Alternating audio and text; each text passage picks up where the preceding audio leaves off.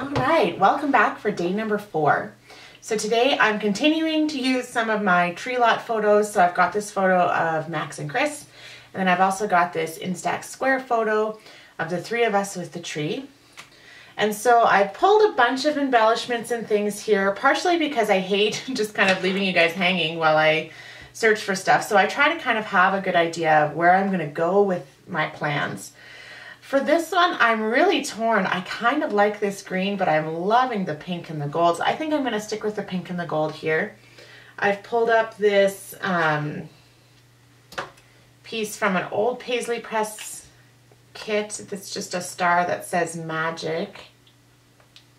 And I'm going to put the four underneath it directly on the photo. I'm really not 100% sure yet which way I want this fa la la card. I love the color, but I also, I flipped it around to try it on the back, and I also love the black and white. So I might try to do that thing that I sometimes do, where I try to use both sides of the card, and even though it's the same sentiment on both sides, okay, so I've got my four there. So that's gonna go up here. And I just want to, i I'm going to skip ahead briefly here. I'm going to come back to this. I'm going to talk about this. So um, I made this um, quote from Home Alone. This Christmas is this is Christmas, the season of perpetual hope. And then I backed it with all sorts of little pieces that I had around the my little scrap station here. And then on this side, I made Max a Home Alone style robe. And um, he was super excited. He thinks Kevin is the character on that he's seen in a movie or a TV show that's most like him. So he's very excited to have this Kevin robe. And then I've got this quote. And then I've got room for the journaling for this one on the back. And I wasn't really sure where I wanted to put it.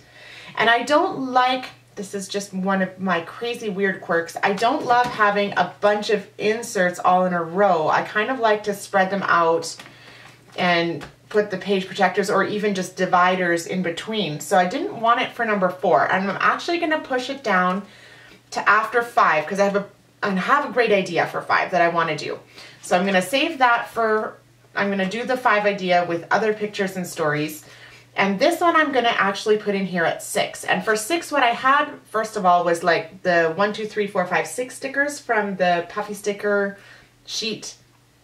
And I, what I've done is I added 7, 8, 9, 10, and I just move that whole page protector down to day 10. So I'll do something with 10 because I still had these um, stickers ready to go. I didn't use them for anything else. So now I'll just increase that to a 10, probably I'll do it like a, a list, more of like a written page, probably no pictures, just journaling. And then I'm gonna put this in here for six. I've been getting a lot of questions on my Instagram about how I made this and specifically related to making the cut file itself and how I make those cut files. So for day six, what I'll do is I'll film a video of kind of how I set these things up and make them and how I cut them uh, rather than a process video of me putting it together to just kind of give you an idea of how you can make your own cut files um, like this. I'll just give a small word of warning. I only have a silhouette, so if you need um, Cricut advice, you'll have to look for that somewhere else. So going back to today and day four, I'm gonna put this photo of Max and Chris on this side, and then I want this wish list card, and like I said, I think I'm gonna do it with the pink side up. I'm gonna tuck it in for now. I'm gonna come back and fill it in. And then on this side, I was gonna put this star. I'm not sure what kit this is. I don't think this is from a December kit. I think this is from an old Studio Calico kit, but it's kind of a blue card with embossed gold stars on it. And my thought was, is I would put this one up there and maybe I'll add a little bit of something. Now, the more that I look at it, the more I think I do actually want to turn this around and that means that this card doesn't work super well anymore. So I am going to find a different journaling card I'm gonna keep my stickers, I want those. Ooh, that's kind of cute. I like that too.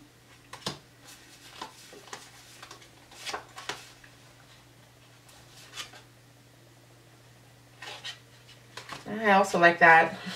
The great thing about buying the, um, ooh, the sorry, I was gonna say the great thing about buying the same kits year after year after year is that I end up with a lot of supplies that really work well together.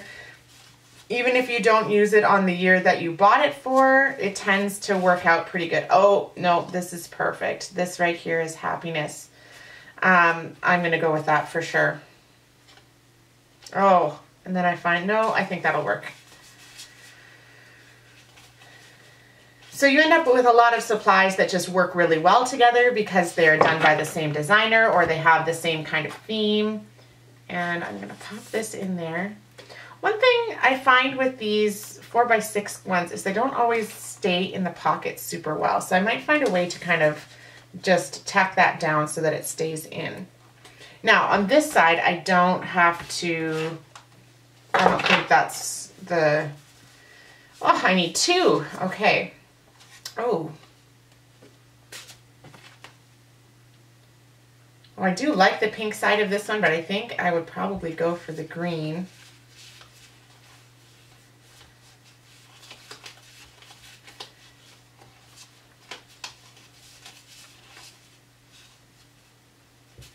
The only other thing I can think I might...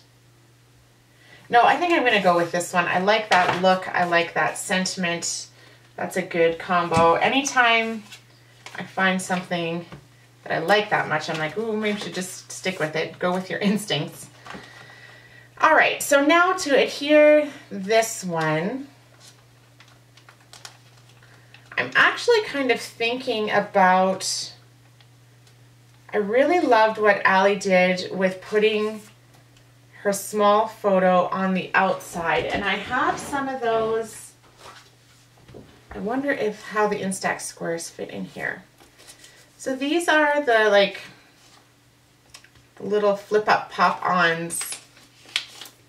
I, I can't remember what company makes these. It's a little tall, so if I could, but is that really necessary?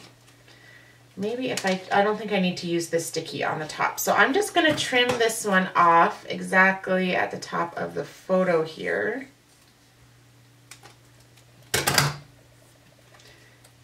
And I'm going to put that on in a similar way. And then I would, yeah, kind of the idea of pulling it out seems really fun to me.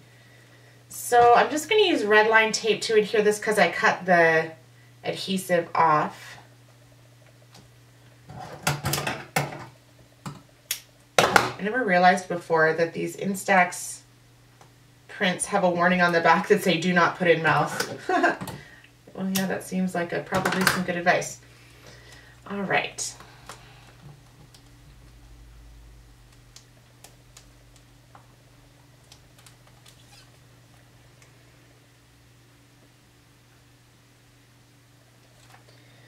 Just to kind of give it a bit of a different look and texture. It's not really about needing it to come out of this pocket or anything like that. It's more about the, the kind of the look of it. So this is just an Elle's Studio, um, I think this was from the November release. It's a little kind of tab. They came in all sorts of different colors. I have them sitting out on my desk because they're so fantastic and just really versatile tabs. I can show you the just some regular tabs, some of these rounded ones, um, like little tags. So really versatile product and just really easy to use on anything, not just December Daily. But I think I like the look of this black one here.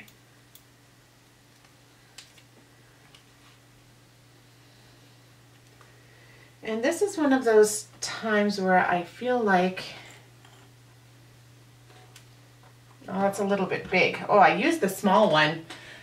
I love how those came with different sizes, but I kind of went a little gung-ho on the small one on my opening page there. So I'm gonna need, maybe I'm looking for, looking for a little bit of gold. I'm gonna grab little gold star.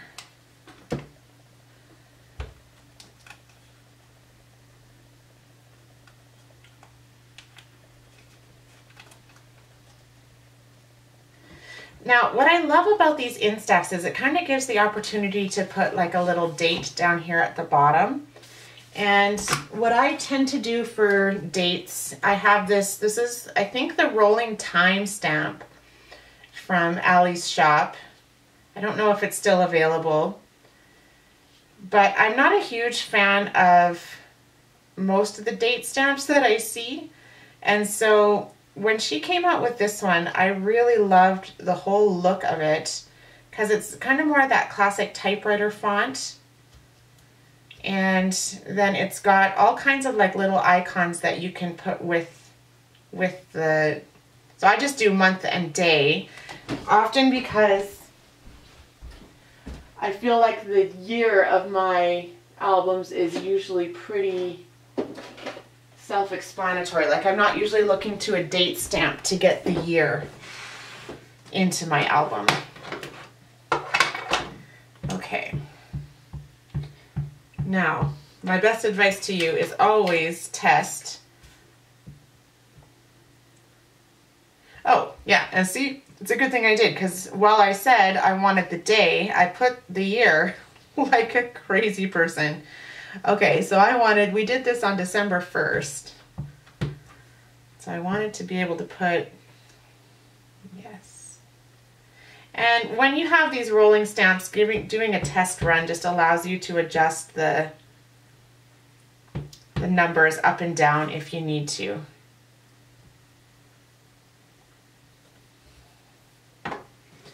So that'll go in there. Oh, I love it. It turned out perfectly.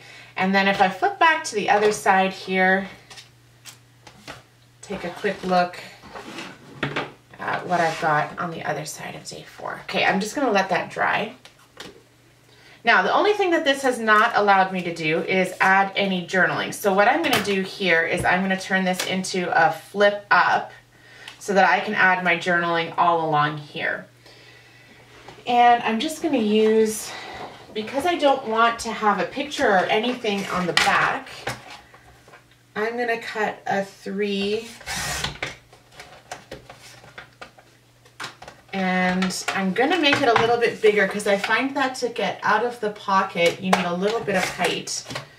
So I'm going to cut it for eight and a half. So this is a three by eight and a half strip. I'm just going to fold it.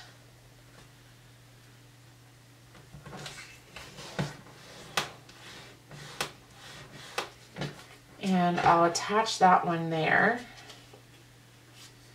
So let, I, I might be able to turn this a bit. Let me just test it in the pocket. Oh yeah, I can't even. I needn't have been so worried.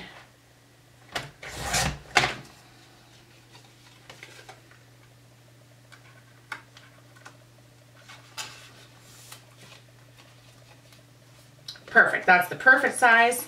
So now I can put my journaling all down here and this I'll adhere on the front and then I'll put my washi tape on. So I am gonna use washi. I just don't like relying on washi for flip ups because I find that sometimes washi can um, peel off after the fact.